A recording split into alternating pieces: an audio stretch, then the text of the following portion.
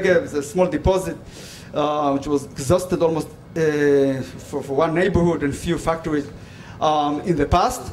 And in six years, already 40% of power generation is based on gas. It was 80% coal generation, 20% oil, oil only five years ago.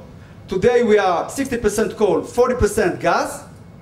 And in no time, in five years' time, in 2014-15, according to our analysis and forecasts, uh, we are going to be 60% gas, 40% coal, and renewables, as you see here in the graph, um, catching.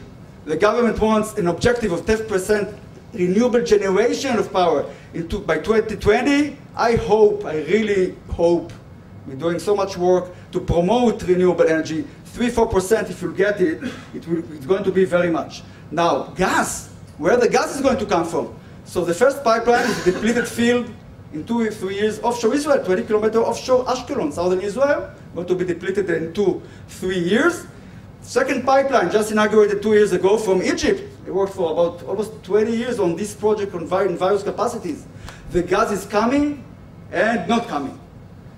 Uh, uh, the reason is excess demand in Egypt, economic issues this day for gas, but tomorrow it might be geopolitical question geopolitical issue because nobody knows who is going to be after Mubarak, and this geopolitically, this flow of gas might be cut. In a country that is basing 60% of its gas, of its electricity production, of course, uh, industrial uh, utilization or others, on gas, really need more sources. Shlomo mentioned, we find somebody took care of us, and not, it was not luck, one minute, major gas reserve offshore Israel will take five years to develop. This gas of Tamar, major geopolitical issue, since the, the Lebanese, somehow the, the, the um, Cypriot, Cypriot, Cypriot, uh, Cypriot, also claiming uh, rights for this deposit because the border,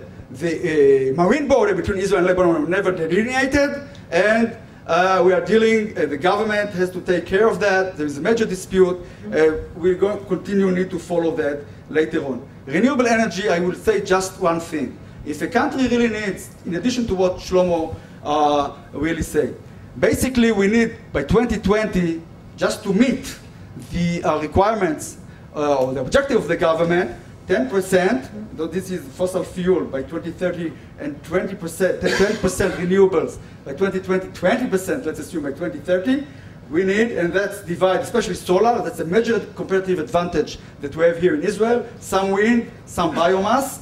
For only 10%, we really need, today there is 12,000 12, megawatt installed capacity. As mentioned, coal and gas.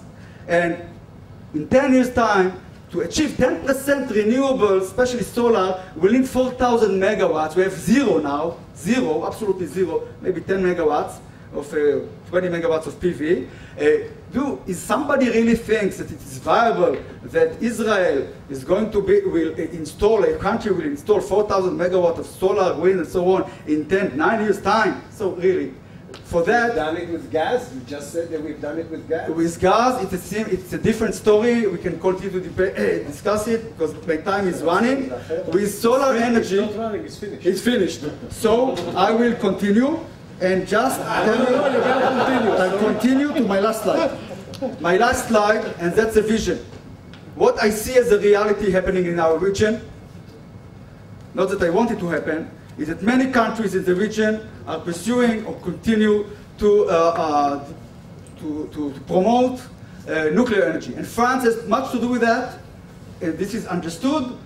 Areva, the French technology, signing almost every country in North Africa just participated in a conference, renewable nuclear energy in North Africa, with all my colleagues, um, and Jordan and Egypt and Algeria, and other countries, especially Saudi Arabia, of course Iran. And they have a very good reason for that. As an energy strategist, I would advise them to go nuclear because they save oil for export, because they save more gas for export, and if they are like Jordan, like Israel, energy importers, or Tunisia, so they can enhance their energy security in this respect. I finish. In- Inshallah.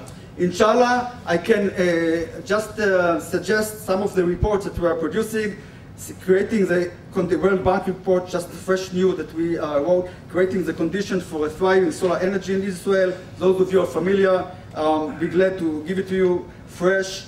Uh, and two other reports. One of them is uh, Amit, we shall have a, a break in a very short time. I'm not going to be, here. unfortunately, we have to go.